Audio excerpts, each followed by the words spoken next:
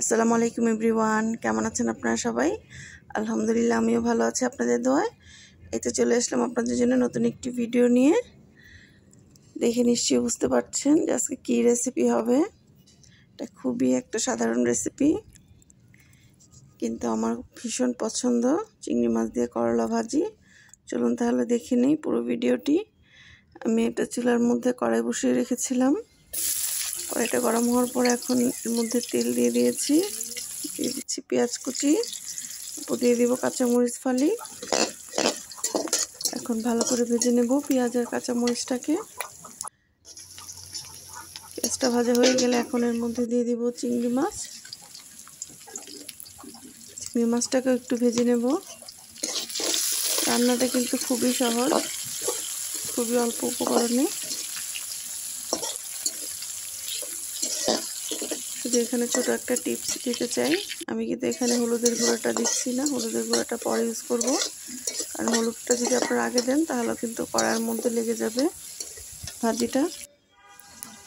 আমি এখানে করলা আর আলু কুচি আগে থেকে কেটে ধুয়ে রেখেছি।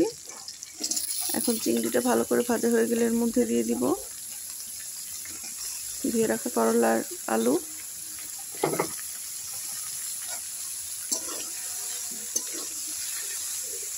এটা রান্না করতে আমাদের খুব বেশি একটা সময় লাগবে না। পাঁচ ছয় মিনিটের মতো রান্না করলেই কিন্তু হয়ে যাবে। আমি এখানে আর কোনো পানি ইউজ করব না। একদম নেড়ে চেড়ে ভাজা ভাজা করে ফেলব।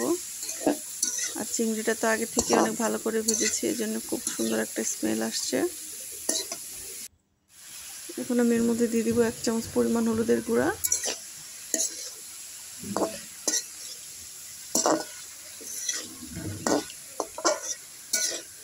অপেক্ষা করব ভাজা ভাজা হওয়ার আগ পর্যন্ত। দিয়ে দেবো স্বাদ মতো লবণ।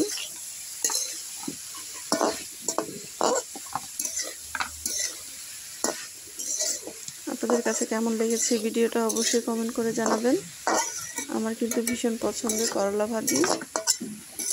করলার সবজি যে কোনো কিছু দিয়ে রান্না করলে ভালো লাগে, ঝোল রান্না করলে ভালো লাগে, ভাজি রান্না করলে ভালো লাগে। আপনাদের কার কার আমার মতো করলা পছন্দ অবশ্যই কমেন্ট করে জানাবেন।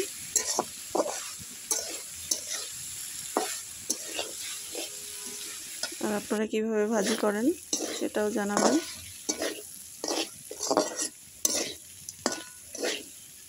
খুবই সহজে হয়ে গেল আমাদের করলা ভাজিটা।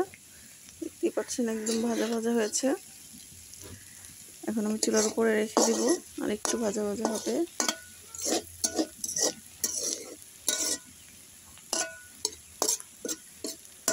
আমার ভিডিওটি যদি আপনাদের কাছে ভালো লাগে, তাহলে অবশ্যই লাইক কমেন্ট শেয়ার করে দিবেন।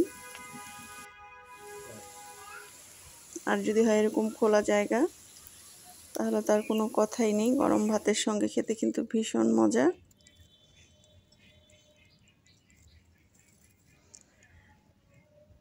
আশা করি আপনারাও একদিন এভাবে ট্রাই করবেন, বিশ্বাস করেন। এরকম একটা ভাজি হলে আর কোনো কিছু লাগবে না। করলা ভাজি দিয়ে কিন্তু আমাদের পেট ভরে ভাত খাওয়া হয়ে যাবে। এই তো আজকে পর্যন্তই। ভালো থাকবেন সবাই। আল্লাহ হাফিজ।